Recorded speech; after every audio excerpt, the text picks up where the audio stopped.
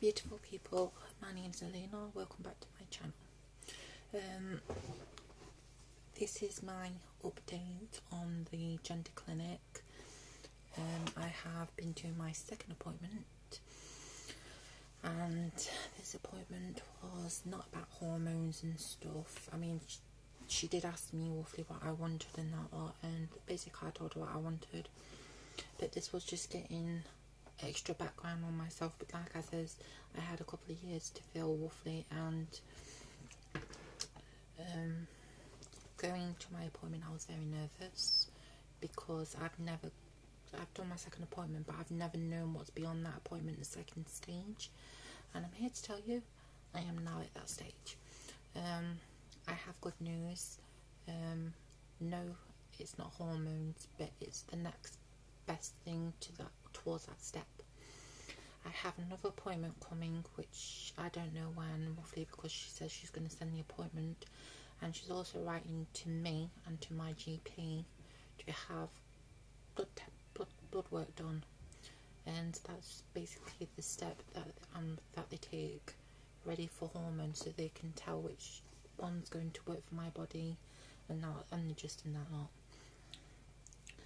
but they are really happy with my progress. Um, the fact that I've gone college and that lot um, I have to take my certificates next time.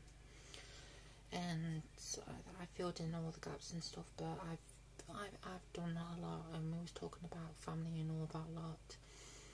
Um, but it went really really good and she told me she says I don't really need diagnosing. She says because I've already had two diagnoses she says but that was back in 2012 she says but I still got to basically diagnose her um, she's diagnosed me and she's written down that I have gender dysphoria and um, she's put me down as um, that you can visibly see that it's gender dysphoria and that um, proceeding through now is what's going to help me because um, we went into details about how I feel such discomfort and stuff and that lot and basically um, that can eventually get sorted. So that's good news roughly um, so hormones should be on the way soon it will take a bit longer to get it all sorted. But I've waited this long um, but I'm basically past um, nearly near the door so it'll be open soon. The window of opportunity I mean the door of opportunity the window of opportunity the fucking thing. Um, but she's happy with my progress she kept going back and looking at you know when I was diagnosed in 2012 and um, she um, was asking me like questions about downstairs. Apparently, my next appointment is going to be even more more intense. Even though it says on the letter that you only require two appointments, I'm going to be having a third appointment because she did ask me. She said, "Did they ask? Did she ask you to do blood work last time?" I said none, which I wasn't asked to do blood work, and I've got now got to do that ready for my third appointment. So, is that. Um, so it's all good news basically I'm now stepping into a new direction and like I told her I says I've been wearing feminine clothes and I've been growing my nails since I was 17 and she asked me if there's any goals in life that I want to, um, to basically do. And I told her that I'm so I'm starting college in January.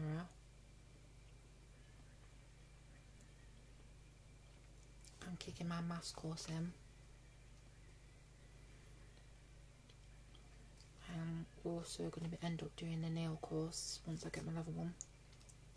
Um, I said I will be driving and next month, or I might end do it at the end of this month, I'm going to be doing something that I've feared for many years and that's going to a nail salon and getting some acrylic nails. And um, I do have a lot of anxiety about it, but I know what is what I want. And um, she told me she'd like to see me. She says she she told me she your anxiety is never gonna go. Because I told her I do have it, and I also told her about my medical condition, which is hyperhidrosis. And she's glad I've got it under control and that I can wear lighter clothing. The thing is, she wants me to control my anxiety a little bit, and that means taking the first step, like she said, which is the nail salon and helping it along. And she says college would be a good thing for me. And that, and we was also discussing what discrimination that I've been through throughout the years, what's happened to me, and I've told her about a couple of occasions where I've gone college, work, and stuff, and things that's happened in my family. And she basically told me, she said, Well, you've been through it, and I said, Yeah. I said I have. Said there's nothing I can do about it. But I have been through the mill and that lot. And she asked me, "Are you taking any medication for depression?" And I says, "No." I says, "I don't want to take medication." I says, "I can control it myself." I says, "It's not really severe, roughly." I says, "But it does tend to get me down a lot."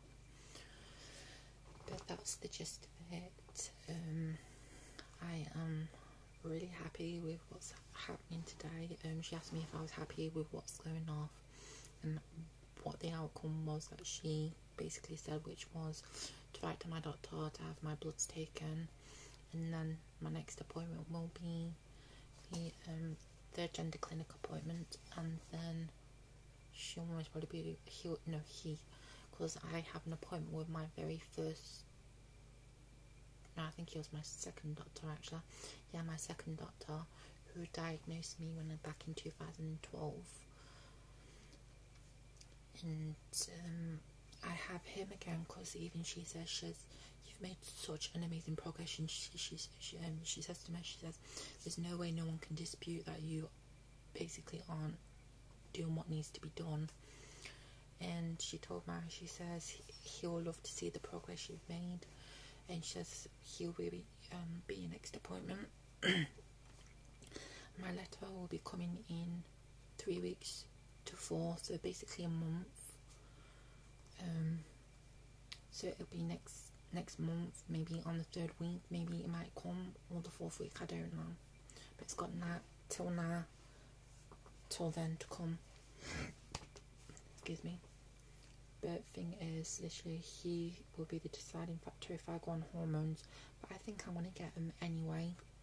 And we also also, also discussing facial hair because I told her I said sometimes I have to leave it to grow a little bit so it stays away longer. I says, but I do tend to shave quite a lot, and I says I'm breaking out a lot on my skin. I said so laser hair removal would be a good thing and she totally agrees because you can see that my skin's starting to get irritated with it. Um, and um, it's all good news. Um, so I'm really happy with what's happened today. I'm waiting for my next letter. Um, one's going to my doctors and the other one because I told her I says is one going to be sent to me? I says, because my doctors are actually quite useless with appointments. And that and she says, yes, she said, one's coming to you, so you can get the ball running, because even she admitted some GPs are quite useless. And yeah, especially my doctors. Um, but that's mainly it. I mean, we were talking about fertility and stuff. But the thing is, I'm not, I'm not going down that road. I'm going down the adoption road. Like I said, it hurts that I can't do it because I, it makes me cringe. Um, but thing is, the ball is now rolling, and the next time you guys will see me is when I'm telling you that I have my third appointment, and that I'm going to have my bloods taken for my next appointment. I think my next appointment might be in November, so I might be starting hormones November, December, January, somewhere along that line. But the thing is, it's happening, and I couldn't be more happier. Um, but some people most probably don't like the wait. I don't mind it because it gives my hair a chance to grow and stuff. It gives me a, a chance to kick a lot of stuff in. Like I'm going to the nail salon, I'll be going to college, I'll be starting driving lessons. I know my plan for next year already. So I know basically just where I'm going in life. And I'm happy. That's a good thing. But like I told her, I says I wouldn't feel completely happy and complete unless I get things fixed. And she even told me, she says, because she looked back at my old records back in 2012 and with the way I was speaking and that, she says it's like your dysphoria's got even worse. So she says, and I can pop up, proper see your dysphoria. She says when you're talking about it, and she says, and how comfortable you talk when she's talking about downstairs, it makes me cringe. Like physically cringe in that lot. And like I told her, I says I will consider surgery one year after hormones. I says because I don't want anything. I says I want to be fully part myself. I says before anything kicks in. And that that's my amazing news. Um, and hopefully you guys will stick around for the next video which will be me getting my blood test bloods done and the update on when my next appointment is which is my third appointment. And I'll also update you guys when I get some acrylic nails because that's my next big thing because I told her. I says I love change I says and like I says I I've been growing my nails since I was 17 and now 28 nearly 29 I want change and acrylic nails is basically what I want to do because I've always wanted to do it but I've always been scared so that's something I've got to kick in. And I'm doing it next month so fingers crossed everything goes okay. Anyway guys that's my update and I'll see you guys in the next video